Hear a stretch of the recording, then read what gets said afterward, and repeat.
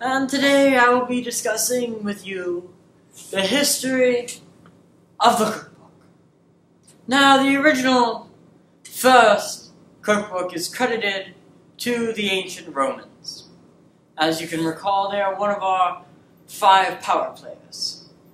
Now, that is where it is credited. Upon further research and plenty of old books, I've found that the first true cookbook are some Babylonian stone tablets that depict how to create some kind of roasted leg of lamb style dish, I believe. Now, on a separate note with the printing press and other things, I'm going to start with our first read of the semester The White House Cookbook. These are, I happen to have with me one of the very rare editions that actually contain plenty of recipes from the actual White House. I believe that this was printed in 1903. That gives you an idea how old this is and what kind of recipes it has. Now, these recipes, they aren't really recipes with cups and measures. They are more like, um, more on how you would prepare it, less on how to actually do it and how much to use. More of how you want it to come together. And that being said, most of the quantities are left out. It would say one this or add that. It wouldn't say add one cup of that. It would say add onions.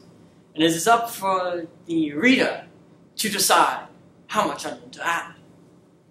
Now, going forward, one of the all-time favorites of mine, Betty Crocker's cookbook. These Betty Crocker recipes happen to have your standard one and a half cups or two teaspoons, you know, your standard measurements. These are perfect for baking, which is very scientific and very precise. Now, continuing on to more of a celebrity style cookbook. The really the first forerunners of celebrity chefs are Julia Child, Jacques Pepin, the Galloping Gourmet, those kind of things.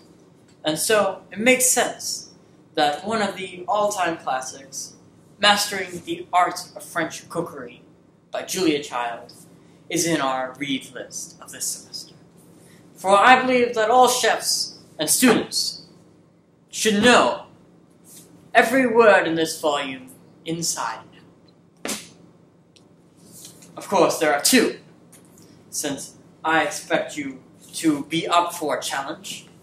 There are two volumes. Now, we also have another celebrity chef cookbook, one that I'm probably sure that all of you know, Martha Stewart's cookie book. Simple, nice, standard cookies. Tells you how to do it. Hmm. It's normal. Classic. Finally, at the bottom of my list, I have this weird cookbook that isn't really a cookbook. It's like a comic book and a cookbook. I'm not too sure about this one. And it's made by that same Logan kid. And yeah. But alas, it is still on my book of reads, and I do suggest that you get one of these for yourself, for your own copy. For I believe that knowing every page of this book is worth half an elective. So, I suggest that you don't ah, forget about this, as it is a very important read for this semester, and worth half an elective. Ah. Now, please, class, go on to your next business. I am going to think about having a cup of coffee. Or maybe taking a nap. I can never be sure.